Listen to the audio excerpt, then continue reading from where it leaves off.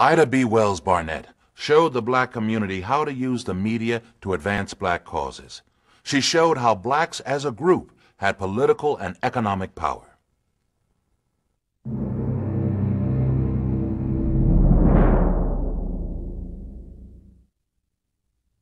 It was the most heinous of acts, the lynching of black people by whites.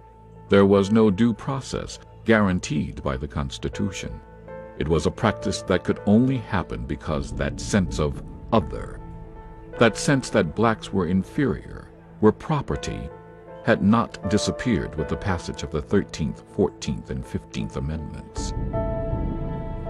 If this were to change, and blacks were to get the rights and justice laid out by the Constitution, they would have to make it happen themselves. After Reconstruction ended in 1876, more than 4,700 black men, women, and children were dragged from their homes, strung up, and murdered, often for no more an offense than speaking their minds or being successful. Someone needed to make these dark and hidden deeds known to the entire country. That person was Ida B. Wells Barnett.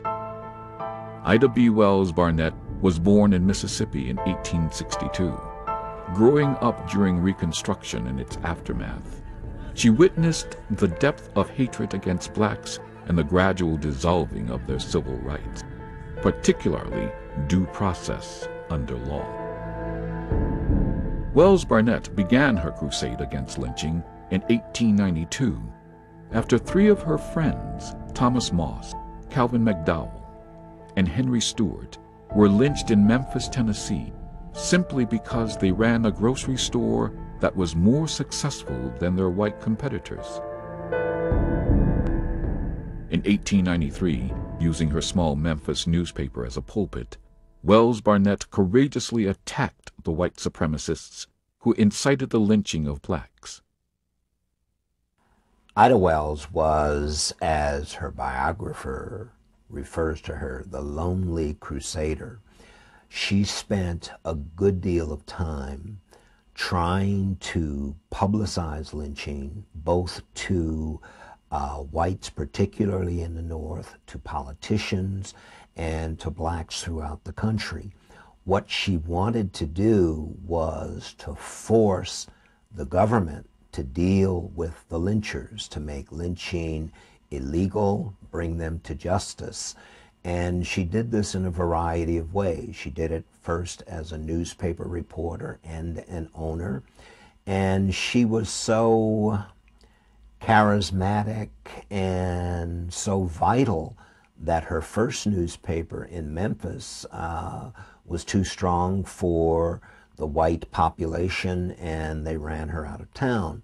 But she then went to work for one of the best known black newspapers of the time, the New York Age, and continued to uh, publicize lynching.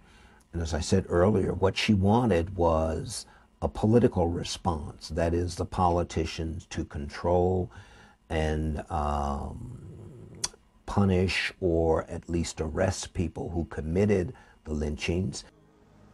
When most Americans learned of the lynching of blacks, they were horrified.